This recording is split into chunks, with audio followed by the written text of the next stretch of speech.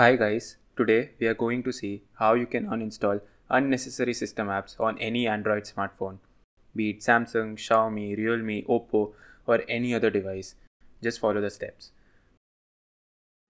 First of all, enable the developer options on your Android device. To do so, go to About Phone and tap the build number 7 times. Then go back, open developer options and enable USB debugging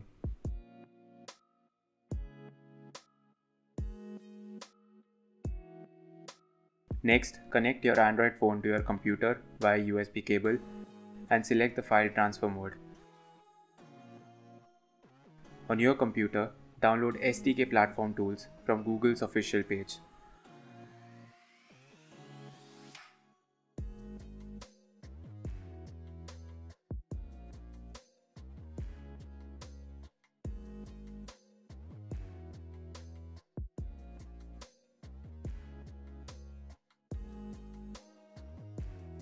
Extract the contents of this file.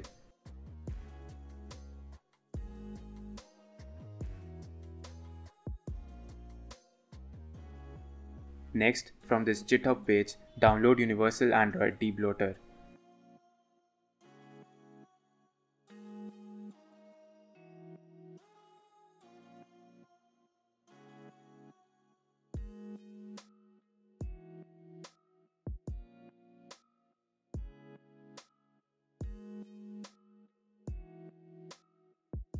Copy the downloaded file to the Platform Tools folder.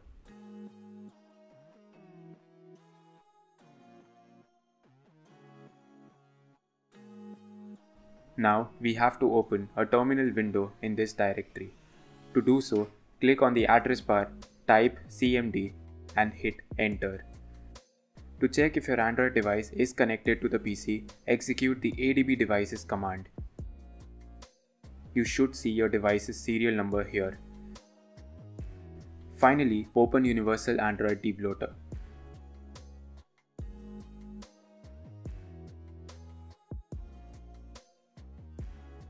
Once your device is detected, it will pull the list of bloatware and system apps that are safe to uninstall. Now you can uninstall any package you want. For example, I'll uninstall the GameSpace app which came pre-installed on my Oppo phone. If you are not sure about the package name of an app, you can use the package name viewer Android app. In this application, go to System Apps tab. Let's say I want to uninstall the App Cloner system app. I can easily check its package name from here. Then, simply search the package name in Universal Android Debloater and uninstall the app.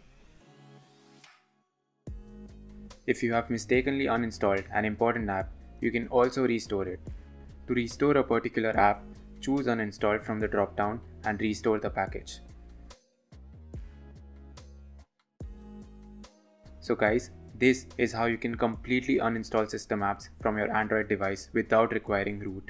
I hope you enjoyed this video. Please press the like button so that it reaches out to more people and I'll see you soon.